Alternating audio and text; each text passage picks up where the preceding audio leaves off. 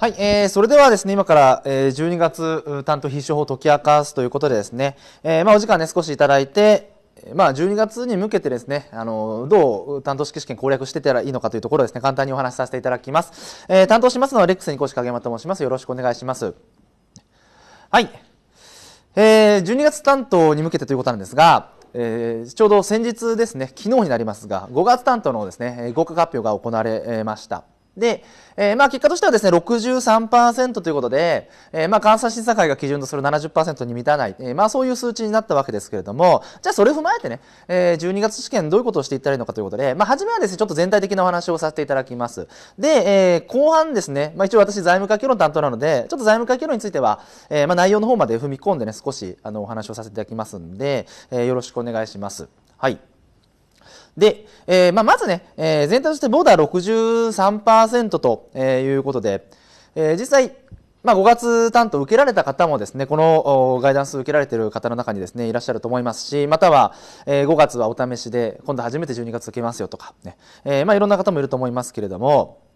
え受けた方はですね、どうですかね、63%。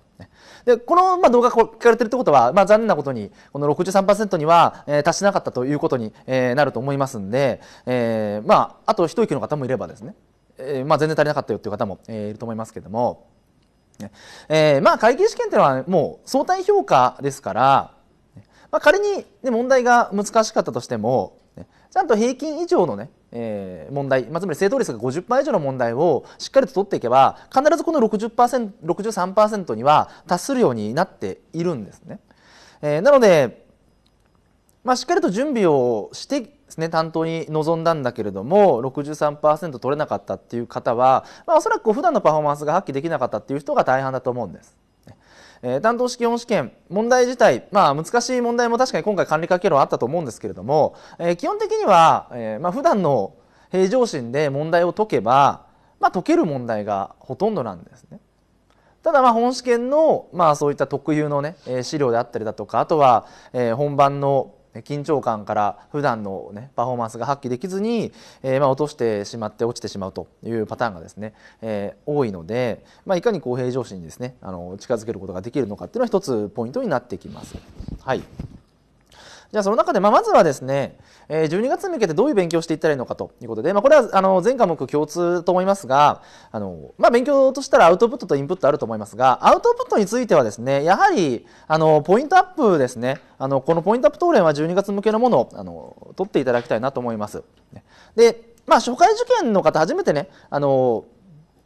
担当受けるよっていう方は、まあ、コースについてると思うんでいいんですけども、ね、まあ以前のですね上級講座なんかを、えー、申し込んでいて、まあ、12月向けにどうしようかなって悩まれてる方はですね、まあ、まず前提としてポイントアップ答練あのこれはもう必須だと思ってください。えー、やはりその問題集だけだと限界があります。で、その限界ってのは何かっていうと、結局まあ解き慣れていってしまうんで同じ問題を解いていくと。ね、なのでやっぱり初見の問題に対応するためには、ねまあ、その12月向けにさらに改正なんかも反映した、えー、まあ答練っていうものをですね解いていく必要がありますので、まあ、アウトプット練習としてこのポイントアップ答練っていうのはまあ必須の教材になってきます。はい。で、まあ、基礎を固めるという意味ではね、まあ、財務会計も管理会計も同じ問題典型的な問題を繰り返して解いていくっていうのがまあ大事なんですがやっぱりどうしても初見の問題出てきますしえー、まあ、見慣れない資料とかも出てきます、ね、まあそういったところはねちょっとポイントアップで対応するほかないかなと。まあ、問題集の問題繰り返しといていくと、まあ、なんとなくもう雰囲気で答え解けちゃうわけですよ。で、この数字確か前解いた時に出てきたなとか、あれこんな数字見たことないからこれ間違ってるなとかって、解いて解いてる途中で気づいてしまったりするんですね。でも基礎を固めるという意味ではやっぱ繰り返し同じ問題解くの大事ですけども、ね、やっぱ初見問題としてはポイントアップが必要になってくるというので、まあ、これはもうあの12月受ける人全てに向けてね、えー、ポイントアップは解いていただきたいやっていただきたいというところですね新しいものです。はい、でじゃあインプットどうしようかなということで悩まれてる方も多いと思います。ね、で、えーまあ、63%をまあ下回っているのでちょっとここはねあの点数別にねどういう講座を受けていったらいいのかっていうのをちょっとこうですねあの提案させていただきますが、ままず、まあ、56%から62%で落ちてしまったと、56%から62%で落ちてしまったという方は、まあ、個人的にはですねまあインプットするんであれば3倍速講座でいいのかなと思います。3倍速と。3倍速インプット。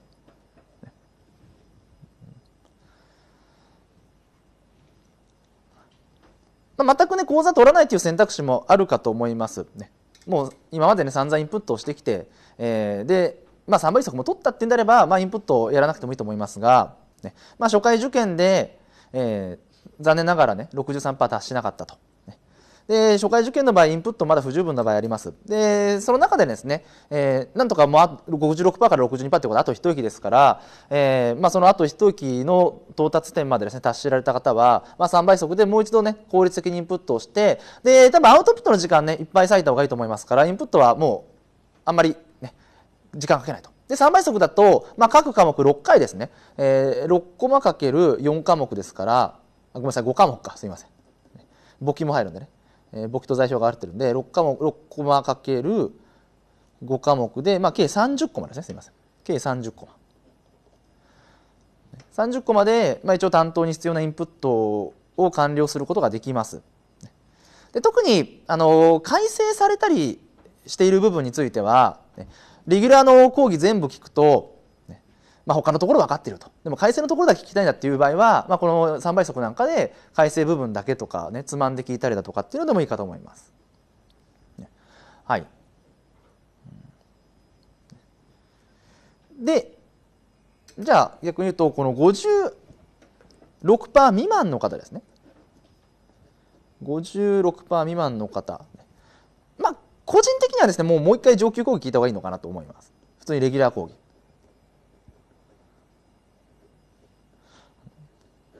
まあ、ちょっと点数として足りていないので、ねまあ、あと一息とは言えない部分になりますので上級講義を聞いていった方がまあいいのかなっていうところと、まあ、あとはですね、まあ、その点数の取り方というか、えー、ここまでのね、12月までの勉強、ごめんなさい、5月までの勉強の仕方にもよるんですけども、ね、インプットは聞けたけども、そもそもアウトプットする練習がなかった。だから点数取れなかったっていう方は、まあ、そういう方は点数が足りなくても3倍速でインプットの復習をして、で十分にアウトプット自習の時間を取るっていうのも一つの手です。で特に社会人の方なんかは上級講義をもう一度フルに聞くと上級講義全部で80コマぐらいありますからかなり時間削られてしまうんですね。なのでそうするとまたアウトプットの時間なくなっちゃう可能性があるので特に社会人の方なんかでえー、もともとアウトプットの時間が少なくて落ちたんだっていう原因をね、自覚されている方であれば、えー、まあ点数が足りなくても、インプットは簡単に3倍速で済ませて、後の時間はもう全部自習に捧げると。とにかくアウトプット練習をしていくというのが一つあります。はい。なので、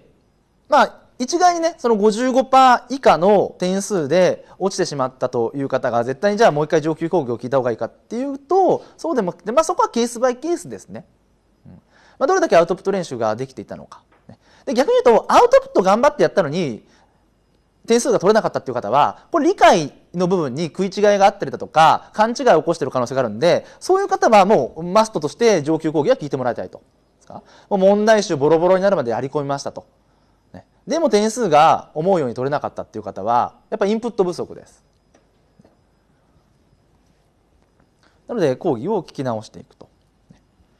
まあ、要はその5月に向けてアウトプット中心でやったかインプット中心でやったかっていうところにもよりますけどね。ただあのよくですねこう言われることなんですけども1回講義聞いたからもう講義聞かなくていいよっていう人もたまにいるんですが、まあ、たまにとか結構いるんですけどもそれはね個人的には違うなと思うんですね。えー、自分がやっぱり時が経つと、ねまあ、問題なんかを解いていて成長していってるはずなんです。ね、それ例えば3回受験した中で1回目受験の自分と2回目受験の自分と3回目受験の自分って絶対に違ってるはずです。まあ、少なからず成長はしているんですね。その中でインプット一番初めの1回聞いているから、ね、もうまあ、仮に3回落ちたとしてですよ。仮に3回落ちたとして1回一番初めインプット聞いてるからもう4回目の受験もインプットは聞かないよっていうのはこれは全然ですね意味合い違ってきて、ね、1回目聞いた時の自分と今ね3回受験経験した自分は全く別人です。そこでまたインプットを聞けば新たな発見っていうのは必ず出てきます。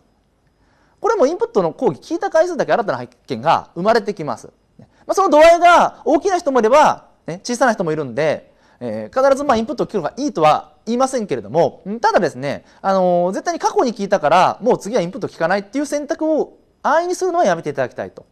これ絶対に新たな発見があるはずなんです、ね、なので特にですねまあ、回数をね、担当受けていて、なかなか受からないと。でもインプットはもう昔ね、1回聞きました、2回聞きました。ね、もう1回、2回聞いたから、えー、しばらくインプット受けてませんよっていう方は、えー、これもう一度インプットを聞いてください。フルで聞いてください。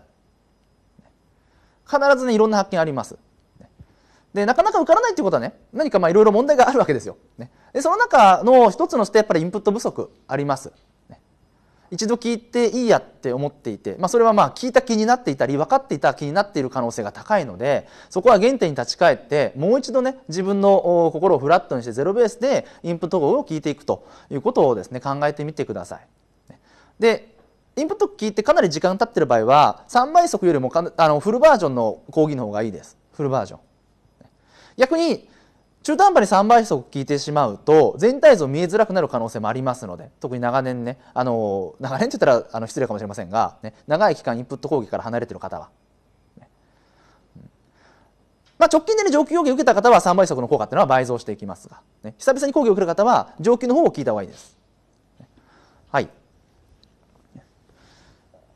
なので、えー、まあ、今一度ねあのこう昔受けたからいいやって思っていた方もここで、えー、ちょっとね講義の方を本当にまあ受けるかどうかっていうところは考え直してくださいね。まあ、ポイントアップ答練はまあ絶対だと考えて、まあ、その中でインプット講義をどうするのか。ねまあ、基本的にはねあのペースメーカーとかにもなりますので3倍速ぐらいは受けた方がいいのかなと思います。はい。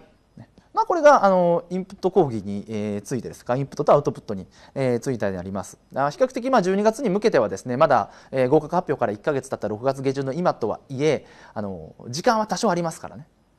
5月向けの試験に比べれば、ね、5月向けの試験だともう合格発表から1か月経ってごめんなさい試験日から1か月経って合格発表を迎えると、えー、もう5月まですぐなんですが、ね、やっぱり12月までの期間というのは比較的長いので、まあ、インプットもやり直す期間だと思いますし、えー、あとはねちゃんとしたインプットやっていかないと論文につながらないんでね担当だけ付け焼き場で仮に受かったとしても論文ねすごく苦労します。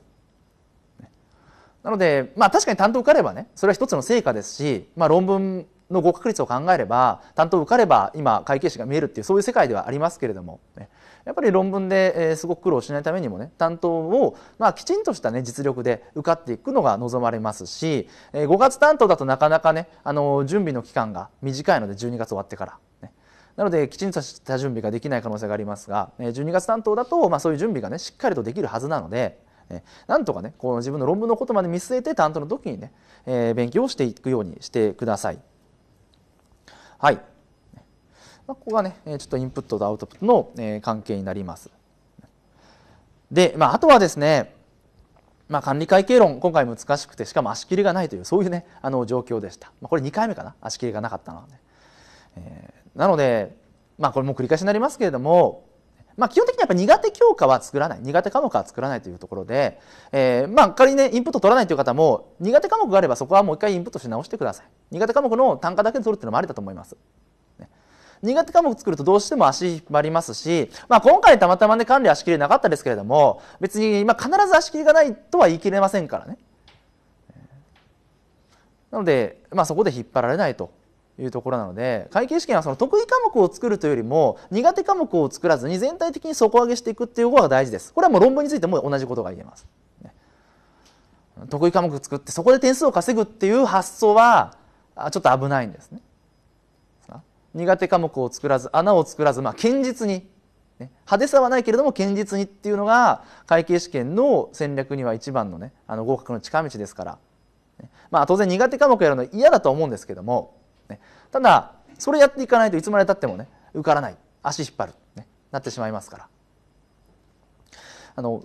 得意な科目ですね。得意な科目の点数を伸ばすのって結構大変なんです。例えばですよ。財務がじゃあ得意としましょうかね財務が得意で、え企業が苦手だと。で、まあ、ちょっと財務会計200点満点ですけども100点満点だと仮定した場合ってじゃあ財務普段80点取れてますよと。財務普段80点取れているところ、まあ80、でもいいですよ。その残り20点を埋めていく勉強っていうのはこれかなり大変です。80%の出来のものを100%に近づけるっていう勉強はかなり大変なんですけどもじゃあ企業法苦手で普段50点ぐらいしか取れませんよと。50点ぐらいしか取れませんよと。その50点しか取れない企業法を8割ぐらいまで引き伸ばすっていうのは、これそんなに難しくないですからね。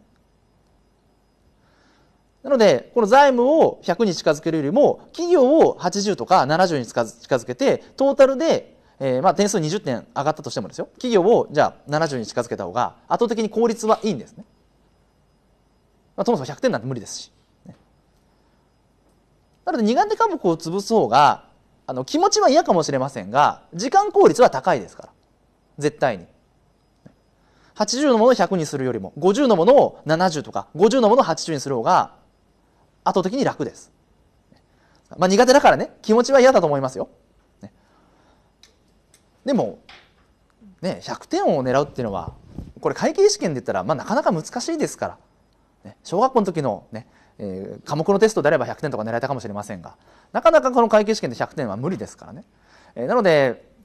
まあ大体マックス8割ぐらいのイメージね各科目8割ぐらいまでまずは引き上げて、えー、まあそれが達成できたらその次にね、えー、さらに高みを目指していけばいいと。まあ、まめんなくね、えー、まずは苦手科目をなくすというスタンスでもし特別な苦手科目があればねそこは当然強化を図っていくということになります。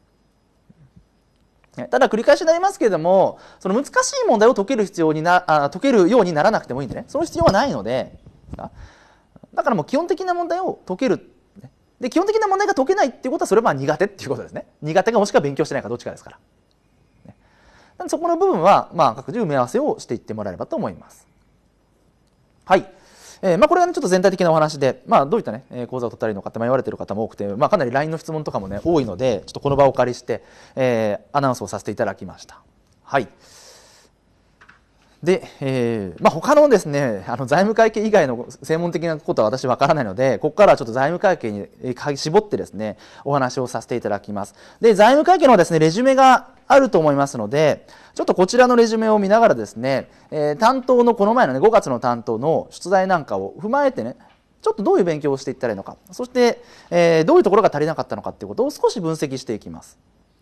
ねでまあ、あの受験されていない方もいると思いますけれども、ね、とりあえず一旦受験したよっていうことを仮定してお話をさせていただきます。はい、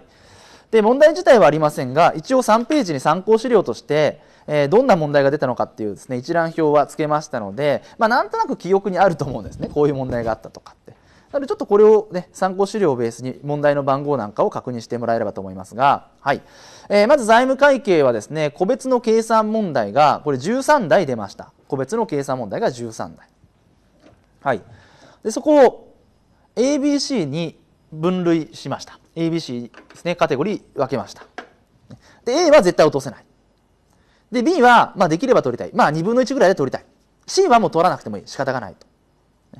はい。でさらにもう少しね細かく性質別に分けています。まあ A の方はですねこれはテキストの説例問題集レベルなので特に特徴はない、ね、ちゃんと勉強やっていれば解けるよっていう問題になります。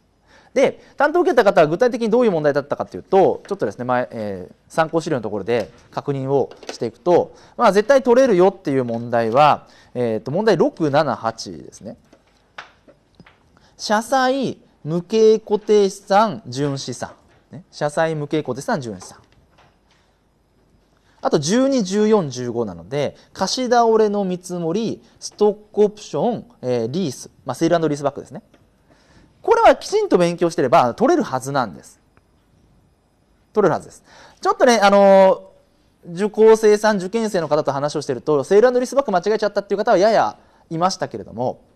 ただこれも別にちゃんと勉強やってれば取れる部分です。で、この部分を失点してしまって、まあ、合否に響いてしまったっていうんであれば、これは明らかにその基礎不足ですね。基礎が足りてないと。これらは全て入門期で学習する論点で、さらに入門期の中でも、もうテキストの説例や問題集、入門の問題集のレベルの問題です。もうこれ致命傷になります。しかも財務かける8点ですから。他の科目の1題が大体5点なのに対してですよ。特に監査と企業は全部5点ですからね。大体5点なのに対して、あほとんど5点か。全部じゃないですね。すいません。財務かける8点ですから。これ6班48で48点は入門期のさらに入門期の中でも基本的な部分で点数が取れるわけなのでまずここを落としてしまったらもう完全に基礎が足りてないとはい。まあ、ミスも許されないっていうぐらいのレベルですね。だからこの問題って本当に基礎問題ですから難しくはないんですよだからどんなにプレッシャーがかかっても解けなければいけないんですね。それぐらいの力をつけていかなければいけないと思ってください。だからイメージはですよ。自分の生年月日と名前書いてくださいっていうのと同じ感覚でこの問題解けるぐらいですね。自分の生年月日名前はどんなプレッシャーかかっても解けると思うんですよ。解けるっていうか書けると思うんですね。そういうレベル。そういうレベルに自然に出てきてほしいぐらいに仕上げていかないといけないんでまだ自分そういうレベルじゃないなっていう方は基礎不足と思ってください。イメージはそういう感覚で見ていかなければいけない問題です。はい。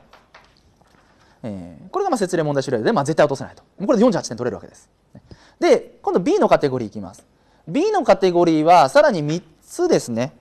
ちょっと分けているんですがまず4511説例4511はまあ、テキストの説例レベルなんだけれども初見の問題であったりだとか、まあ、ちょっと考えさせる問題があってまあ絶対正解っていうのは厳しいかなっていうのが4511はいちょっと問題だとですねまず現金預金。まあ現金預金ちょっと難しいですね今回の問題受けた方は。現金預金のまあ癖にと言ったら失礼かもしれませんが、えー、難しいと、ね、でこれはまあ確かにレベル感としてはテキストに載っていてもおかしくないような問題ではありますけれども普段ね見ていない小口現金なんかでさらに考えさせるようなものもありますのでこれはまあ正解できなくても仕方がないかなっていうところ、ね、はい、あとは問題の5番の方は流動負債の問題が出ました、ね、これは仮払い金を流動負債に入れていかなければいけないっていう部分だけが難しかったんですね、えー、その仮払い金を流動負債に入れることができたかどうかっていうところになるんですがただまあそこもですねまあ2分の1ですね。流動差に入れる選択肢と入れない選択肢とあって2分の1ですから、ね、ここはもう分からなくても仕方がない。仮払い金を流動差に入れるかどうかっていう判断は分からなくても仕方がないんで、まあ、これはもう解けなくてもしょうがないっていうところ。あとは問題11工事に工事契約の会計処理に会計上の見積もりの変更誤病の訂正が混ざったもので非常にシンプルで、えー、簡単とは言えるんですがただまああんまり普段見慣れないものだと思いますからこれもまあ正解できなくても仕方がないかなとは思います。だからまあ3台あるんでこのうちうんまあ1台ぐらい取れればというところですかね。なんとか。ちょっと全滅だと全体の合格ラインに達するの厳しくなってしまいます。はい。でさらに戻りますよ。今度 B ランクであと2つありますが B ランクの、問題10はこれ特殊商品売買です。使用販売の対象勘定法が出ていまして、あの、まあ、特殊の取り扱いは難しいですよね。えー、問題自体は簡単です。だから、特殊の対策を立てていた方は取るべき。ただ特殊って切っちゃってる方もいるんで、切っちゃってる方はもうここは前落ちですから。自分の戦略として特殊を切っていた方は別に取る必要はないっていうところに置いてください。逆に特殊を取りに行った方は正解しなければいけない特徴です。だからこの問題の10は個人個人によって位置づけは違ってくると思ってください。ね、特徴対策を立てた方は取るべき問題と。はい。ここはもう何とも言えない、ね。個人によって違いますよと。はい、ただ、まあ、この特徴について言及をしておくと、やっぱり収益認識の会計基準の兼ね合いから、特商品売買出る可能性は高いです。えー、来年1年間ですかね、えー、令和2年度の試験も、特徴が出る可能性は高いと思います。何らかの形で。まあ、計算ないしは理論で。ね、なので、うん、まあ、本当にね、全く手つけていないという方は、まあ、やらないっていうのも一つの手だと思いますが、あの、まだ比較的時間に余裕がありますから、あの全くやらないっていうのは理論対策にもならないんでできればテキストの説例とかの特に各個別の問題未着品使用販売委託販売カップとかっていう個別の問題は解けるようにした方がいいと思います。あの全部混ざった複合問題を解けるようにするかどうかっていうところは個々の判断によると思うんですけども個別の問題解けないとあの理論が出た時に理論の整合も判断できなくなっちゃうんですよ。なのでまあそこはねやった方がいいかなと思います。あとはもう時間的余裕で要は総合問題ですよね。未着とカップと塩が混ざったような問題がを、えー、トライするかどうかと。でここはねあのこれも完全に私の試験予想ですけども多分ねこの最近の本試験の傾向を見てると商品売買が、まあ、3つとか4つとか絡んだ問題っていうのはなかなか出ないと思います。ね、だからまあ多くて2つぐらい、ね、未着と使用とかね。昔は全部ね未着使用委託カップとか全部混ざった4種類とか出たんですけどまあそこまでは出ないかなと思います。しそこが出たらもう切っちゃってもいいと思うんですよ。だから総合問題が出たとしてもまあ、本当に、え2種類ぐらいまでかと思います。はい。なのであのテキストですね、まあ、レックで学習されてる方はフォーサイトテキストの2に特殊商品販売あって、えー、特殊商品販売の第6節かな？第6節ちょっと節間違ってたら申し訳ないんですけども総合問題2体ついてますからその総合問題テキストの説明の総合問題ができればもう十分かなと思います。はい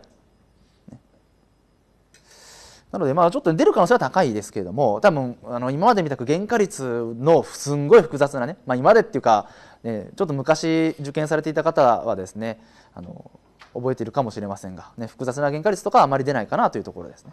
まあ、これはあの私の予想です。単純な。はい。で、すみません、戻りますね。で、問題19。問題19は包括歴の問題で、えー、まあ、これ本質としては難しくないんですけども、やっぱりね、いろんな資料がああるので、えー、容易に解けるかどうかって言ったら、えー、まあ、微妙かなと。まあ、本当に理解している方は一瞬で解けます。秒殺です。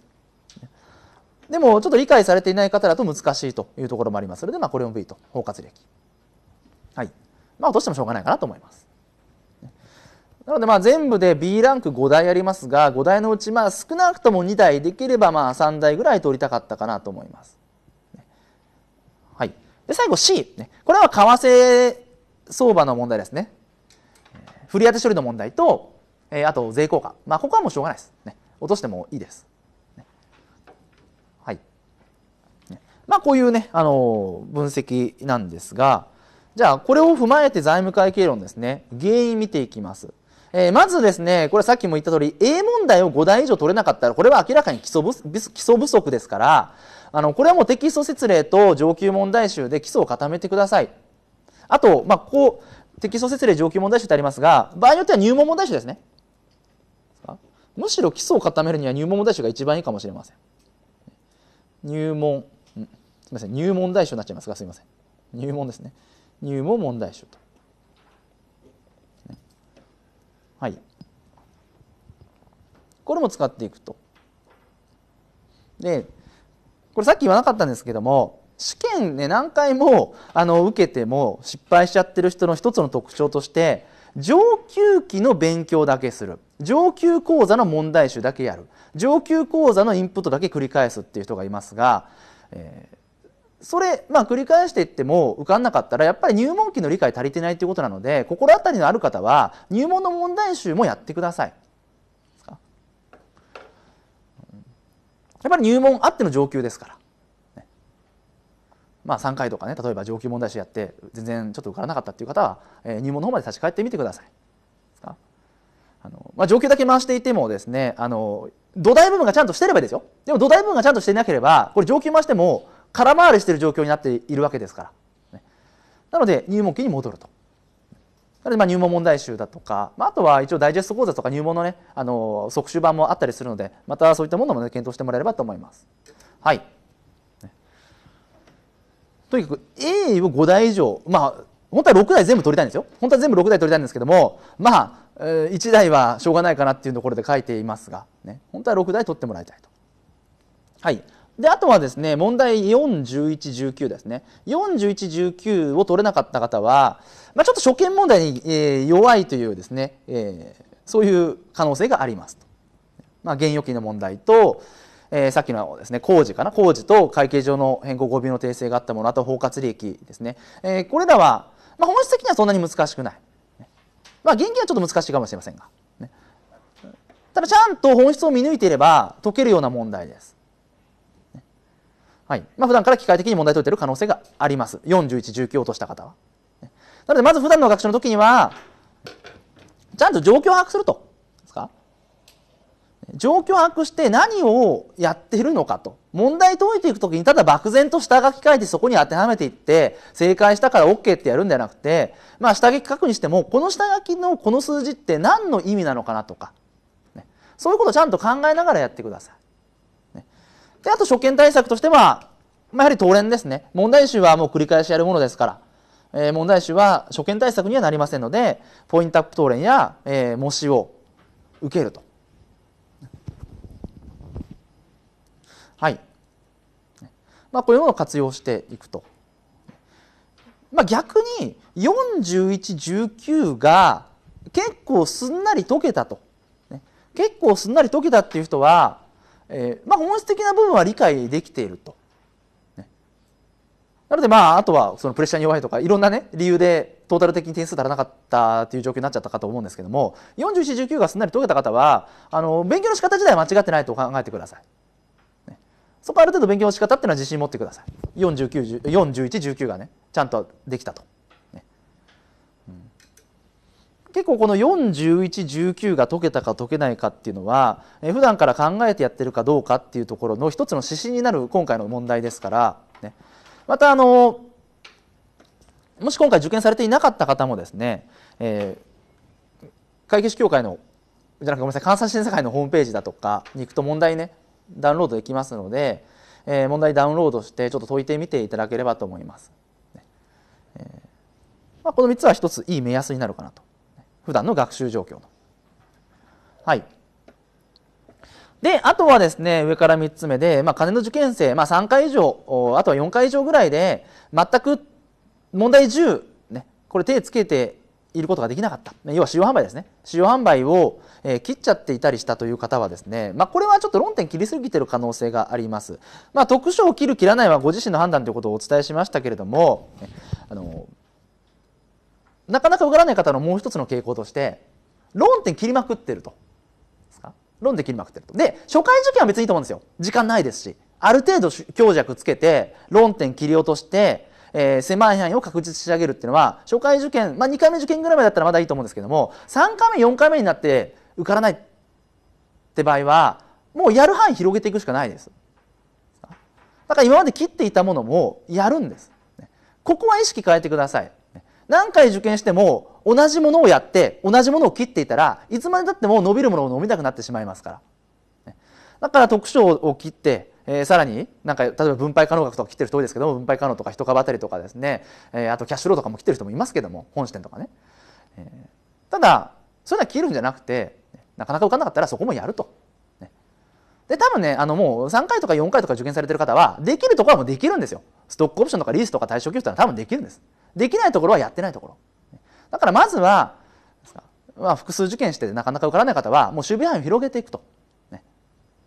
これは一つのね方法ですし、ね、なので、まあ、3回目、えー、以上ないしは4回目以上の方でね、えー、使用販売完全に切ってしまったとかいう方は、えー、まあ、網羅性に欠けている可能性がありますのでここはね網羅性意識した、えー、学習をしてください。ある程度網羅性を意識したと学習と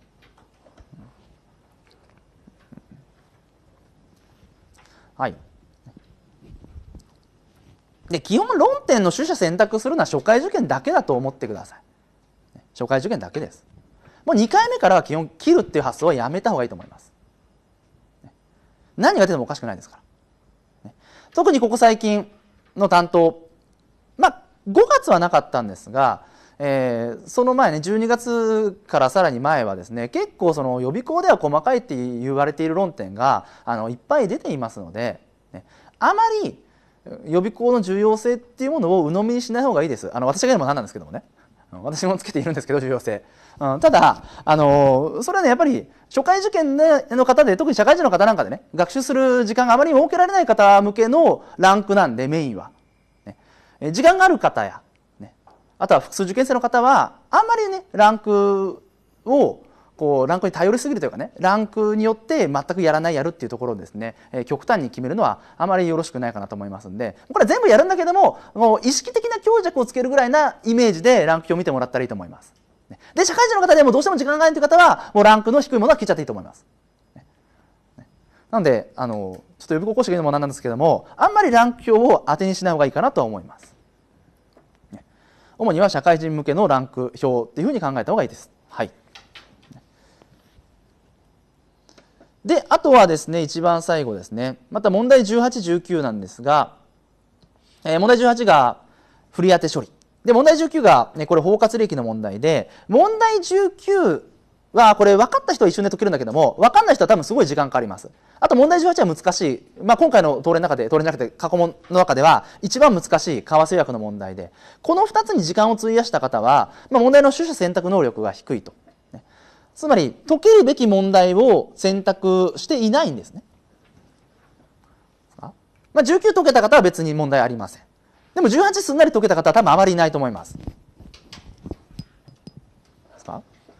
で、担当の中のね、えー、一つ重要な合格のエッセンスとしては、できる問題をちゃんと見極めて解くっていうのは必要になってきます。これは管理会議でも同じことが言えると思うんですよ。ね、特に計算科目は時間に追われますから、全問題を満足して解き終えるっていうことはなかなかできません。よほど計算強い方、計算早い方じゃないと、満足して終わって、10分が余ったから見直しようとかってそういう条件にはなりませんから。ということは、ある程度捨て物が必要になってきます。財務会計でいけば、まあ、やっぱ2台ぐらいはほぼ捨てていい問題が出てきます。2台ぐらいは。まあ、そこを自分のわからない問題にしなきゃいけないんですね。わかる問題捨てたらいけませんから。わかる問題捨てて、わかんない問題に時間かかるってのは一番最悪ですからね。だからその取捨選択をちゃんとしていかなければいけないと。で、このあたりもやっぱり答練を受けて、どういう問題を捨てていくのかっていう力は養っていく必要があります。はい。まあ、答練受けていけば、ね、まあ、大体こうもう見た瞬間に、あ、これはみんなできそうだなとか、これはみんなできなそうだなっていうのが分かりますから。ね、でも、受けないとそれ分からないですから。ね、ので、まあ、ここね、答練っていうのはそれだけ、ね、重要性が高いものだと思ってください。はい。えこれ個別問題の分析ですね。で、続いて、えー、総合問題。連結会計の総合問題、えー、出題されましたが、えー、今回は幸いにも優しい問題ですね。非常に優しい問題ですと。で、まず必須のところですね。えー、問題24、25、26。これ、論点としては24、25、26なんで、のれん、資本剰余金、非支配株主持分。ね、この3つはマストです。ね、のれん、資本剰余金、非支配株主持分。ね、この3つは絶対に正解が必要なものになります。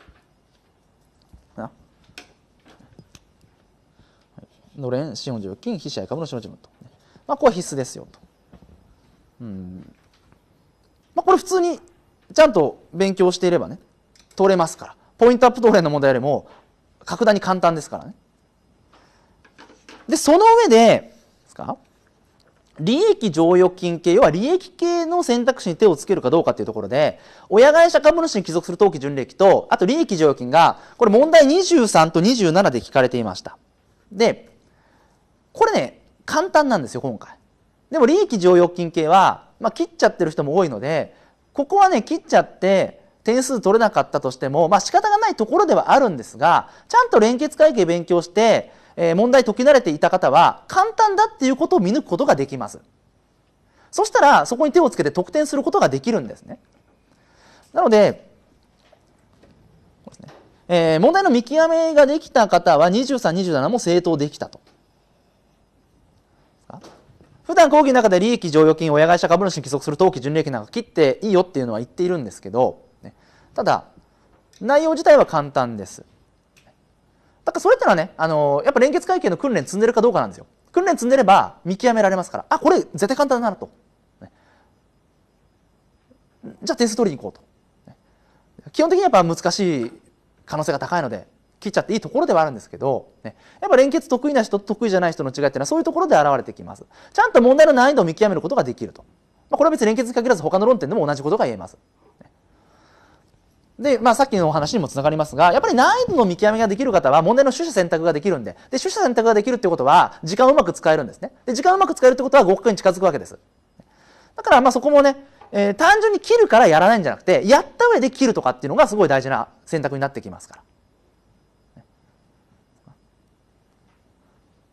なので、まあ、ちゃんと全体を把握して、ね、取捨選択をしていくと。これをみんながこれやってないからとかねみんなが利益剰金をあの切ってるから私も切らないとかっていうんじゃなくてまあしっかりとね練習した上で、えー、解かない解くっていう選択はしてください、ね、これ私もね東連の回数の中でいつもとりあえず復習の時は必ず利益条件合わせにいってねと、ね。えー、これ連結の理解が深まるから必ず利益系は復習の時やってねと。本試験は切ってもいいから復習の時にやってねと言ってます、ね、なのでまあそこで、ね、なんとかこう練習をした方は簡単と見極められた、えー、方もあのいましたね実際。あの受講相談で。何人かはいました、ね、ただまあこれでも仕方がないですよ。利益系ですから。ここは多くの受験生が捨てているところでもあるんでできなかったら置いていかれるっていうところじゃなくてできたらアドバンテージで取れるっていう部分です。ここは。はい。で、えー、まあ、その下ですね、えー、時間が足りないっていう理由以外で3台以上の政党を確保できなかった場合は、まあ、総合問題があまり得意じゃない。練習ができてないということになります、ね、完全にその個別の問題と理論の問題に時間割いちゃって全く総合問題手をつけられなかったっていうんであればそれは時間オーバーでできなかったっていうことなので総合問題が苦手得意じゃないっていうことは一概に言えませんけども時間がある程度確保された上で今回の連結の問題の政党が3台下回っちゃった方。はい。ここはね、連結の総合問題、もう一度、あの、復習をする必要がありますので、うん、まあ、レクのね、講座だったら、ポイントアップトーレンとかプレートーレンとかあと簿記フルマスターとか3倍速の中でも今回ねあの簿記の3倍速講座はあの総合問題対策を後半やっていこうと思ってるんで、えー、まあそういったところでねちょっとあの総合問題の対策は図ってみてください。はい。あとまあちょっとこれは営業みたくなっちゃいますがプレートーレンとか簿記フルマスター講座の方はですねこの論文対策にも有用なんであの、まあ、担当から論文ね、えー、つなげてこう連結の対策をしたいという方は、まあ、プレトレンドとかフルマスターをね、え使うのもありかなと思います。はい。ただまあ初回受験の方はねあのここについてあまり気にしないでください。初回受験の方はもうあの既存のカリキュラムをやっていけばいいので、ね、はい。えー、ここはまあ総合問題でで最後理論の方いきますね。はい。理論の方は、えー、2ページ目ですね。今回理論ももう優しいです。まあ、前回から前々回ちょっと理論ねすごい難しい回がありましたけれども今回は優しくて、えー、まあ今回ぐらいのね理論の問題が出ればこう予備校側としてもまあ助かるというか、まあ、実力がちゃんと反映されるので、まあ、非常にいいなというところで、ねまあ、私もこの特に理論の方はですねあまり難しくならないということを祈っています。で、まず必ず正解したい問題は1、2、3、17、20ですね。概念フレームワーク、財務諸表の用語について、資産系。で、問題17が研究開発ソフトウェア。問題20が、えー、これが何だっけ、四半期か。ね、極めて優しい問題。で、講義の時で扱ったレジュメを読んでいれば必ずできます。はい。なので落とした場合はもう勉強不足です。明らかに。1、2、3、17、20。ね。はい。落とした方は時間不足ですよと。落とした方は時間不足。もう時間をかけてレジュメ読み込んで一問一答やっていけば必ず解けた問題です。はい。で9題中5題はここで正解。もう本当に満点に近いぐらい取ってもらいたいと。まあもう本当にねあの仕方なしに1ミスですね。で、残り4台ありますが、そのうち2台も別に難しくないんですよ。残り4台のうちの2台が、じゃあとんでもなく難しいかっていうと、別に難しくないです。まあ、上の5台よりもちょっとだけ難しいぐらいです。だからそんなにここの5台と丸2の4台を区別する必要はあまりないかなって個人的には思っているんですけど、全部一括りでもいいぐらい。はい。えー、問題9が、まあ、これ収益認識。まあ、確かに収益認識はちょっと細かいところが出ちゃったんでしょうがないかもしれません。ねただ13がストックオプション、16が、えー、退職給付かな退職給付。21がセグメント。もうセグメントなんか本当は上に突っ込みたいぐらいなんですけども丸の1にね。ただまあ論点自体がちょっとマイナーなんで、えー、まあ一応ねこの丸の2番、ね、まあ一応 B ランク的な位置づけにはあさせていただきました、ね。うん、なのでまあ5プラス2でやっぱり7台欲しいんですね理論今回。で理論7台取れれば1問8点ですから8 4 56で56点、ね、ここで確保できます、ね、まあかなり大きいですね。で、えー、まあ一つね取り扱いとして皆さんですね気になるところはこの問題9の収益認識かなと思います。この部分ですね。今早期適用の段階で少し私が想定していた以上に細かいところが出てしまいました、まあ、細かいといっても別に本適用されれば細かくはないですよ。別に普段から対象給付とかリースの勉強を例えばやっていてね対象給付とかリースの、まあ、もう基本的なようなね選択肢が出たんですがただ早期適用の段階で言うとちょっと厳しいのかなっていうね選択肢が出ました。もう少しこう全体的なものを聞くと思っていたんだけどもピンポイントの個別の論点を聞いてきてしまったんで、えー、収益認識は。なのでここについては少しですね12月に向けてもう一度対策を立てる必要があるかなと思います。でまだですね未定ですけれども、えー、まあ、私の方でもう一度収益認識のねあの特別講義を、まあ、少し、ね、12月向けに昨年度も2回やってるんですけども、ねえー、もう少し細かめにあの対策を立ててやろうとは思っているんでちょっと未定ですが、ね、なのでそちらの講義の方でまた収益認識対策っていうのは立てていただければと思います。ね、であの特別講義無料講座にするつもりではいるんですけども、うん、ただレックを受講されてる方はもうその講座っていうのは無料で全部ねウェブ配信しますのでレック受講生は。ね、はいなのでまあもう講義を見てもらえれば一応大丈夫というふうにはもう一度ね講義を練り直してやりますので多分秋以降になると思うんですけど、ね、なんかそこで対策は立ててもらえればと思います。はい。まあそれ以外はね、あの既存の財務諸表論のレジュメで対応できます。で、理論対策としては、もうレジュメの読み込みと一問一答ですね。こうなります。まあここの理論対策はですね、出題によって、毎回変わるものではありません。もうこれはかなり普遍的な対策ですね。対策だと考えられますので、コロコロ変えるというよりは、ね、まあ、とにかくレジュメを読んでいくと。で、ここにありますが、まあ、一問一答は ABC のランク付けプラス過去問で構成されておりますが、えー、本試験に一番近い出題のされ方は B ランク問題です。あの財務諸表論に関してはですよ。他の科目は知りませんよ。ね、財表に関しては A ランクって本当に知識を確認する選択肢なんで、本試験と同じような問題はあんまり出ません。ねまあ、例えば売買目的有価証券は自家評価しますよ。イエス。ねえー、そういう感じの A ランクですから。うんだからまあこれは確認なんですよ。で本試験っぽいのは B ランクなんです。なので A ランクは確認して間違えたところはチェックして繰り返してやっていた方がいいですけども合ってたところはもう A ランク繰り返す必要がないので繰り返しやる問題っていうのは B プラス過去問あのこれがね一番最適です。B ですか？B, B プラス過去問。だからまあ A で間違えたとこプラス B 過去問ですね。はい。これが一番いいかなと。であと必ずレジュメを合わせて勉強していってください。いや一問一答だけやると部分的な知識しかつかないんで結局何の話かとか全く同じ問いであれば答えられるんだけどもちょっと角度変わったら答えられなくなっちゃいますから必ずレジュメを読んで該当箇所ですね場合によってはレジュメに書いてないもの当然ありますからレジュメに書き込むなりしてねえまあ、自分なりの、ね、教材を作るようなイメージでちょっとレジュメの読み込みをしてみてください。やっぱりここはもうインプットのレジュメとアウトプットの一問一答相互参照しながら力ついていきますから。なのでここは必ずね単に一問一答やるだけではなくてレジュメとセットでやってください。はい。まあ、これがね理論対策になります。まあ、理論対策はもう普遍的な、ね、やり方ですから。レジュメと一問一答。まあ、これで今回の担当であれば、えーまあ1ミスぐらいしょうがないですけども9分の8は ,9 分の8は取れますからね。なのでなんとかね、えー、まあ時間ある程度かかります。やっぱ財務諸表量も分量が多いですからある程度かかりますけども、まあ、やっぱ時間かけなければいけないですし、えー、特に12月に向けてある程度ね時間あの用意できると思いますんで、ね、なんとかちょっと頑張っていただきたいというところになります。はい、で、えーまあ、最後にね、えー、今度まあ初めて担当を受けるという方はその講座の取捨選択っていうのは特にないので、えー、12月向けの上級講座ですね、えーまあ、これをベースに、えー、講義を受けていくと。でその中で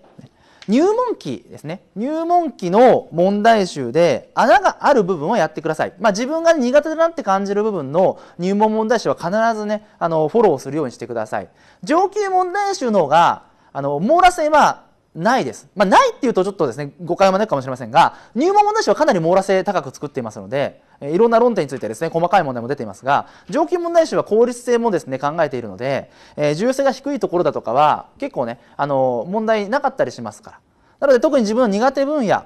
については、入門問題集もセットでやってください。はい。あと、まあ、簿記フルマスター講座なんかを別途取られている方はフルマスター講座ので全てあの代替していますので、まあ、フルマスターやれば、えー、入門問題集も担当問題集もやらなくてもいいんでね、フルマスターだけでいいんで、フルマスターとテキストの説明でいけます。はい。えー、というところでですね、えー、まあ12月に向けて財務会計論が中心になってしまいましたけれども、ねえー、まあいろんなお伝えしたいお伝えをしたいことはですね、えー、伝えられたかなと思いますんで、なんとかね、こうまだ時間がありますから。でやっぱ学習の順序としては夏は計算ですね。夏は基本計算です、ね、やっぱり計算からやらないとね後々になって計算の強化ってできませんから時間なくなってきますからね。11月になって連結会計やってませんって言ったら、まあ、これは厳しいですね。なのでまず計算を一通り固めていって、まあ、秋口から理論をやっていくようなイメージで計画を立ててください。はい。まあ、インプット講義がある方はね、ちゃんと講義の方は並行してね、計算の勉強と並行して聞くようにしてください。講義残すと大変ですからね。講義は物理的に時間取られちゃいますから。ね、だから講義は終わらせて、なるべく秋以降の自習時間を増やすようにしてください。まあ、生クラスもまあ9月の半ばぐらいまでは講義がっつりあるんで、えー、何とも言えませんけれども、ね、とにかく、まあ、特に通信の方ですね。通信の方はもう前倒しで講義をね、えー、受けていって、とにかく残さないと。ね、配信されたらすぐ受ける。なるべく後半の自習時間を確保できるように、えー、頑張ってね、講義は受けてください。で、その中でまあ計算を、えー、なるべく早めに、えー、終わらせておくと。はい。えー、まあ、あの、これは管理会計についても言えると思いますからね。えー、計算科目についてはとにかく計算部分を先にやっていくと。はい。まあ、理論は後でも何とでもなるっていうわけではありませんが、ね、計算に比べれば巻き返しが効く部分ですから、理論科目というのは。ね、まずは計算に力を入れてやるようにしてください。はい。えー、ということでですね、まあ、1時間弱ぐらいになりましたけれども、12月に向けての、まあ、財務科学論を中心とした、えー、必勝法ですね、以上になります。また何かですね、あの、わからない点なんかがあればね、LINE 等、あと、まあ、電話相談なんかもありますので、えー、そちらの方をですね、利用して聞いていただければと思います。はい。えー、それではですね、えー、説明会の方は以上になります。お疲れ様でした。